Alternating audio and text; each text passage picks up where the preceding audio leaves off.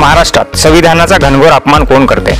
सरकारी कार्यालयात राजरोसपणे होता धार्मिक कार्यक्रम. कलम सव्वीस एक नुसार हा कायद्याचा होतोय भंग. शहाणपण शिकवणारेच पोलीस ठाण्यात करतात चुका. सुजान संविधान प्रेमींनी जागोजागी आवाज उचलण्याची गरज. राष्ट्रप्रथम त्यानंतर बाकीचे धार्मिक. देशापेक्षा धर्माला महत्त्व कोण देते? बातमी विस्ताराने. गेल्या दोन वर्षापासून संपूर्ण जगामध्ये तथाकथित कोरोना थैमान जागतिक निर्मितीमुळे देशवासियांना कुठल्याच महापुरुषांच्या जयंत्या किंवा धार्मिक सण उसरता आले नाहीत. मात्र यावर्षी गणेशोत्सव होऊ घातलेले आहेत.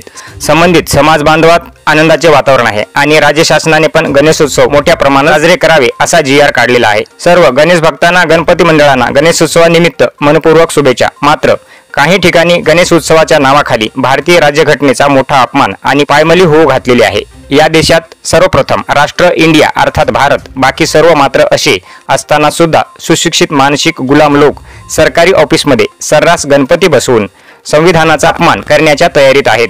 कायद्याचे रक्षण व्हावे आणि हा देश धर्मनिरपेक्ष आहे. तोच कायद्याप्रमाणे राहावा आणि राष्ट्रप्रथम धर्म वैयक्तिक ठेवून याचप्रमाणे कायद्याची अंमलबजावणी व्हावी. सरकारी कुठल्याही कार्यालयात असे धार्मिक कार्यक्रम अजिबात झालेच नाही पाहिजे. यासाठी चरणदास कांबळे कोल्हापूर जिल्हाध्यक्ष ऑल इंडिया पॅन्थर सेना कोल्हापूरच्या वतीने संबंधित जिल्हाधिकारी कोल्हापूर यांना तसेच निवेदन देण्यात आले आणि कायद्याचे काटेकोरपणे पालन झाले पाहिजे. अन्यथा पॅन्थर स्टाईलने कायदा शिकवला जाईल असा इशारा सुद्धा देण्यात आला आहे. शीतल कांबळे कटुसत लाईव्ह न्यूज कोल्हापूर. सर्वांना श्रेणी जय भीम.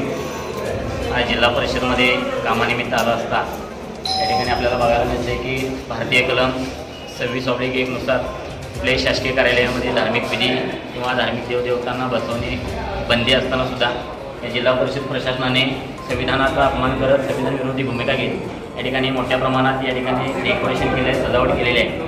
तरी आमच्या जिल्हाधिकाऱ्यांना जाहीर आव्हान आहे की तात्काळ याच्यावरती कारवाई करावी. संबंधित सर्व प्रशासकीय अधिकारी सदस्य यांच्यावरती तात्काळ कारवाई करावी. अन्यथा ऑल इंडिया पॅन्थर सेनेच्या वतीने संपूर्ण जिल्हा आणि महाराष्ट्रभर याच्या विरोधात तीव्र निदर्शने करण्यात येतील.